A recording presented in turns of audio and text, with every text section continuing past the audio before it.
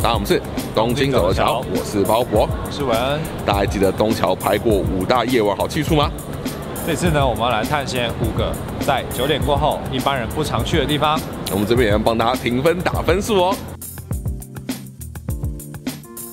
加入的方式很简单，只要到我们的频道首页，在订阅的左边有一个加入的按钮，在加入之后就会跳出订阅的方案及说明，依照程序填入资料就可以加入会员啦。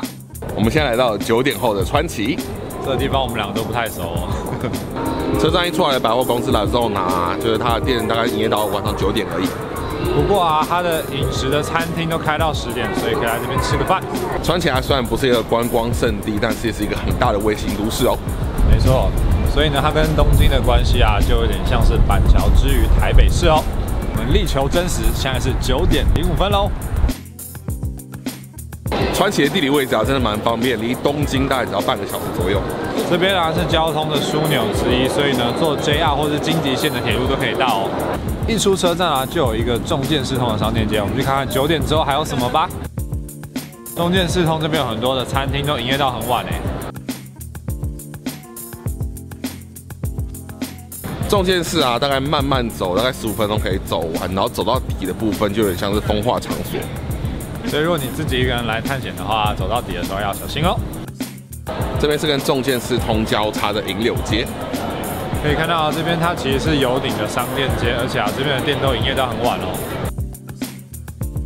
银柳街走的是银座街。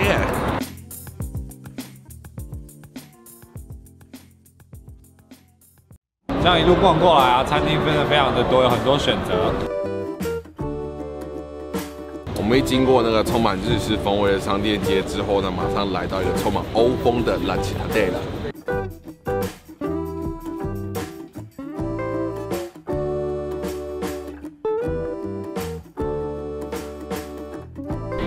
这边啊，石板路搭上欧风建筑，很适合散步呢。而且冬天晚上也还有 illumination 哦，在我背后。夜晚的传奇，满分十分，你给几分？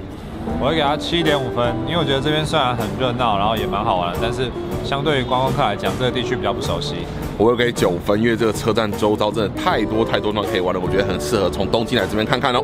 日本大通一出来，大概走个两三分钟呢，就可以到这一区，然后感觉就是很多美式餐厅，感觉都营业到很晚哦。其实，在横滨的港口这边啊，还蛮多像这种装置艺术，晚上有亮灯的，所以大家可以在这边散步看看哦。那我们接着往前面走呢，就是欧桑巴西拉，可以看到横滨的夜景哦。在我后方就是横滨的夜景哦。请问一下，今天几度？现在应该表定是三度，但体感可能只有零度吧。这巴西本身也盖得非常有特色，所以可以在这个上面照很多 IG 美照。我身后方的这一大片广场啊。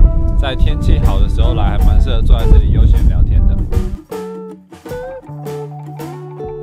离开了港口边之后呢，我们现在来这边的桥下散步。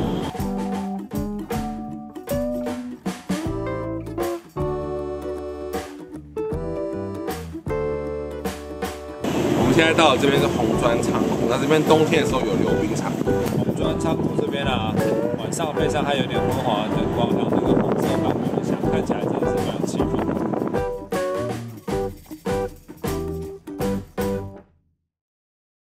横滨晚上啊，就真的还蛮适合散步，然后蛮多漂亮的地方可以逛逛。但是呢，最好不要一个人来，会有点孤单。我们今天虽然是九点过后来，但是在 Yokohama 的 Marine and Walk 这个区域啊，有非常多好吃而且气氛很好的餐厅。我们现在来到这边是米纳头蜜来站附近啦。在我身后方呢，有结婚专门办结婚的地方 Anniversary，然后另外一边就可以看到摩天轮哦。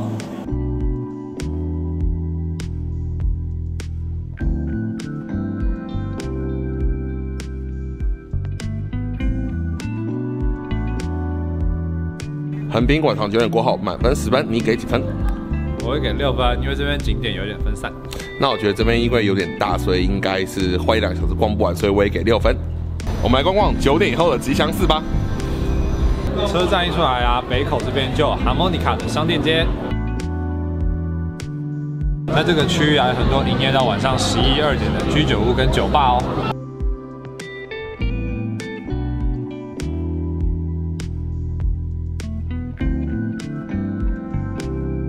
这个区域总共大概有三四十家店，选择还蛮多的。九点过后的商店街啊，由于人比较没有那么多，所以走起路来非常的悠闲自在。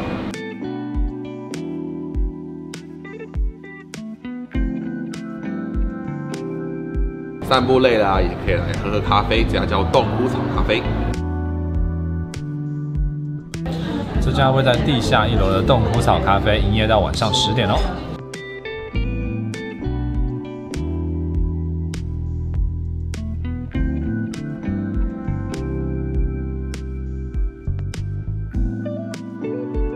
们现在到了吉祥寺站金王线的出口，然后让我们走走晃晃去公园吧。都已经快十点了，但这边的店都没有关。这边有点像新宿三丁目，然后居酒屋很多，晚上灯火通明的感觉。这边连唐吉诃德也开到这么晚哎。那我们看看九点过后的吉头公园长怎样吧。这边啊晚上比较没有路灯，然后人也比较少，所以呢晚上比较不推荐来公园这边哦。上九点过后的吉祥寺，满分十分，你给几分？我给八分。就是这边啊，虽然商店很多，也蛮好玩，但是同质性跟新宿有点像，所以如果不想走太远的话，到新宿玩就好喽。我会给它大概七分，因为呢，这边虽然有一些商店街也好，然后餐厅有开啊，但是我觉得比起特色的话，可能像台场那种灯饰啊，或者是钢弹的话，会更加的好玩。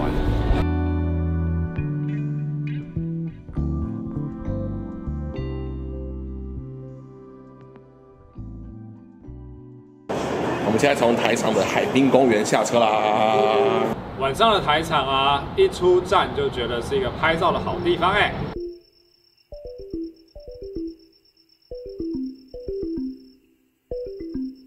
虽然是平日的晚上啊，不过我们零零星星还是可以看到有一点点的行人，然后还有车子经过。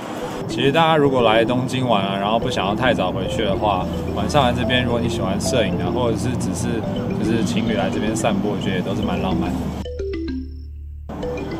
比起白天的台场啊，其实晚上这边没有人的时候，真的更适合情侣来这边，而且可以看一下冬天专属的灯饰哦。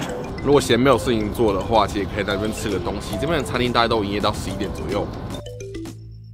晚上的彩虹桥跟灯饰啊，真的是蛮美的。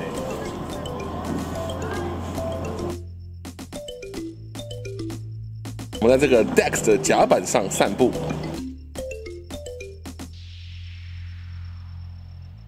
晚上来这边的话，可以拍出很多 Instagram 的美照哦。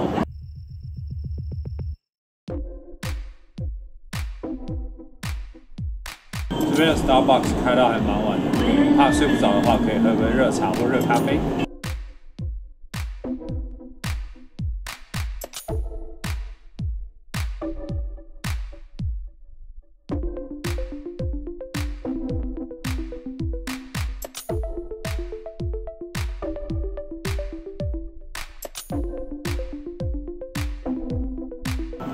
来台场这么多次啊，我第一次看到这么少女心、这么梦幻的楼梯哎。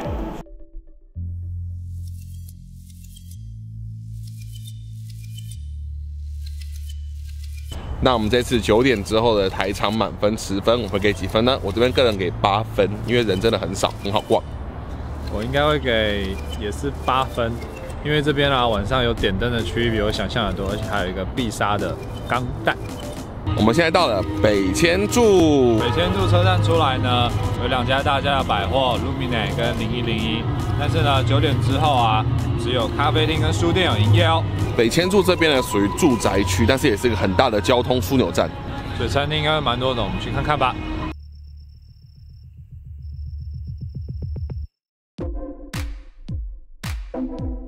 车站出来的商店街附近啊，有非常多的餐厅，包含连锁的跟非连锁的。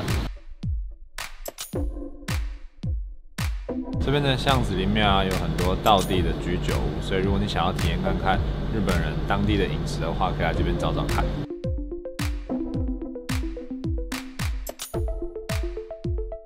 北千住这边有 JR 线，然后 Metro 跟东武线，所以地理位置上是非常的方便，所以很多台湾人会选择住这边哦。九点之后的北千住，满分十分，你给几分？我给五分。哦，这边的餐厅非常非常的多，然后非常道地，所以如果你想吃好餐厅的话，可以来这边选择。但是如果你想纯逛街的话，这边就没有那么好玩喽。嗯，我大概给他也是六分吧，然后理由也是跟 Bob 差不多。以上就是九点过后的五个区的探险了。如果你对任何一个有兴趣的话，欢迎来看看啦。不过要小心安全。我是包包，我是文，大家下次见，拜拜。